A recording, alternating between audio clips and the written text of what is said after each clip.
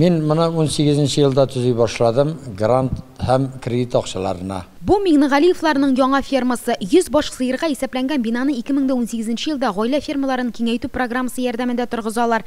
Төзелешкә авыл хуҗалыгы министрлыгы 7 миллион сум күләмендә грант та бирә. Берничә ел эчендә бу хуҗалык районда иң алдынгылар рәтенә чыга. Хәзер биредә 270 баш мөгезле эретерлек исәпләнә. Минем бүгенге көндә фермам әйбәт эшли.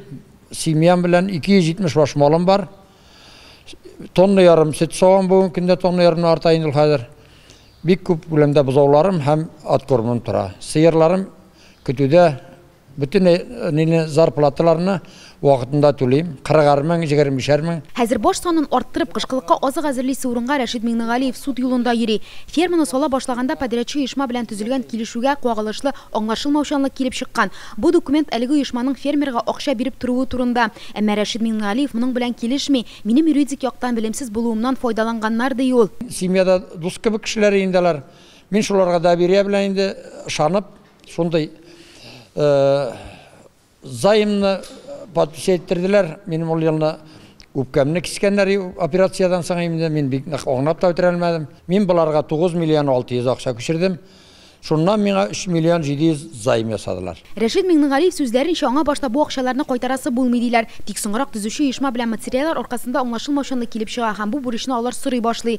Фермерны судка бирәләр. Мәхкәмә Рәшид Миңнегалиев займ акчасын кайтарырга тиеш дигән карар чыгара. Түләмәгәч узган елның гыйнварында Татарстанның арбитраж суды аның хуҗалыгын банкрот дип таный һәм бар мөлкәтен сатарга куя. Бе инде хәзер печән инде притләгә әйттеләр, печән сатучылар күп бу Но мин печәне ала алмыйм, потому что минем бүгенге көндә фирманы бетерергә йөриләр, банкротка чыгарырлар. Уже Башкирия ягына килделәр, малларны сатып алыр бетерергә. Мен шулай итеп печәнсез дә калам буга инде, ималсыз да калам. Менә подрядный оешма белән аңлашылмау килү сәбәпле банкротство ситуациясына килеп җитте бүгенге көндә. Икенче торыкларда менә аукционга куелды. Аны любой кеше керсә алам дип, внешний управляющийлар бүгенге көндә инде аның милкен сатып бетереп, банкрот әҗәтләрен капларга тиеш була инде. Без подрядчы оешмасы белән элемтәгә кердек. Алар менә нәрсә дип белдерде. Фактически был этот займ. Это можно, это можно уже увидеть с самого начала. У нас по, прям по документу у нас за материал только ушло 6,5 миллионов. О чем он там говорит? Тоғызыншы жылда мен аңа тәкмәгә акча биреп ята алмыйм бит инде. Онда за что, за что дип полностью язылган. Мы уже построили почти три с половиной этапа, там идут деньги поэтапно. Вот три с половиной этапа мы построили. И остановились, сказали ему, уже деньги заканчивались. То есть приостановка была. Из-за Суфинсингвич панельларная сутлашек, и мы попросили вот этот займ ему вернуть. Мы его попросили, верни наш займ, нам же работать надо, нам дорабатывать надо. Шлебы керек деп попросили. И уже по-плохому фәлән җиребезне фәлән итегез менә просто-напросто безне послал. Фермер да подрядчы ишманы судка биргән, аларның төзелештә сыйфатсыз материаллар куллануы ачыклана. Кара Рәшид Миңнегали файдасына була. Мәхкәмә подрядчы оешма фермерга 4 миллион 800 мең сум түләргә тиеш дигән.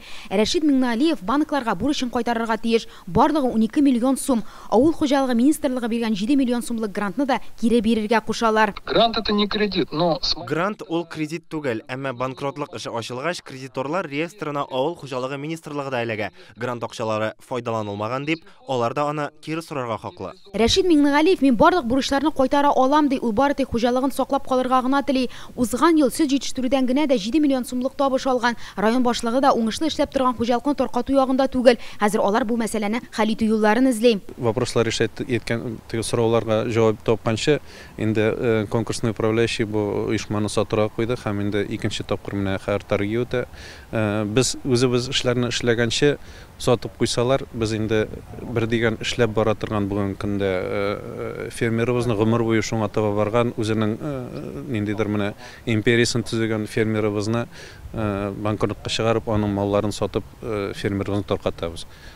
Һичшиксез район җитәкчесе буларак мин инде моңа каршы без ничек тә бу ферманы калдырырга телибез. Миңнегалиевлар хуҗалыгын хәзер бары тик бер очракта гына саклап калып була, әгәр авыл хуҗалыгы министрлыгы фермер белән үзара килешүгә барса. В силу того, что основным кредитором является Минсельхоз, Авыл хуҗалыгы министрлыгы иң зур кредитор булып саналганга, алар банкротлыктан чыгара ала. Кредиторлар җыелышында үзара килешү төзеп, аннан соң фермер бурычларын 5 елда әкренләп түләп бетерә ала. Мөслимдәге бу хуҗалыкны шулай саклап калып буламы дип без бүген авыл хуҗалыгы министрлыгы җитәкчелегенә мөрәҗәгать иттек. Бүгенге көндә дә без конкурс управляющий белән элемтәдә торабыз. Конкурс управляющийның авыл хуҗалыгы министрлыгына язган гаризасы бар. Шул гариза нигезендә бүгенге көндә әйтәбез мировой соглашение төзер өчен мөмкинлек бар, әгәр Рәшид Зуфарович үзенең чыгымнарын рәсми рәвештә раслый алса. Беренче чиратта грант акчасы гына түгел, грант акчасына аның әйтәбез күчерелгән акчаларга платежный документлары бар банк аркылы үткән, ләкин үзенең акчасын тотканга 12 миллион ярымга хәтле бит әле үзенең акчасы да бар. Үзенең акчаларын тотканга бернинди дә рәсми күчергән документлары юк. Эксперт комиссиясы Рәшид Зуфаровичның ферма хуҗалыгын барып тикшерделәр. Андагы 300гә якын баш мал бар. Ферма төзелгән. Бүгенге көндә сөт савыла, терлек азык әзерләү процессы бара. Без үз сиратыбызда конкурсный управляющийга мировой соглашение җибәрергә әзербез. Иң беренче чиратта менә шул документларны рәсми рәвештә расларга кирәк. Хәзер бар да Рәшид Миңнегалиевның бу мәгълүматны ни дәрәҗәдә тиз тапшыруыннан тора. Һәр көн исәптә бит, аның фермасын теләсә кайсы вакытта сатып җибәрергә мөмкиннәр. Мөслим районыннан Филүзә Хәмидуллина, Ирек Хәбибуллин, Яңа Гасыр каналы.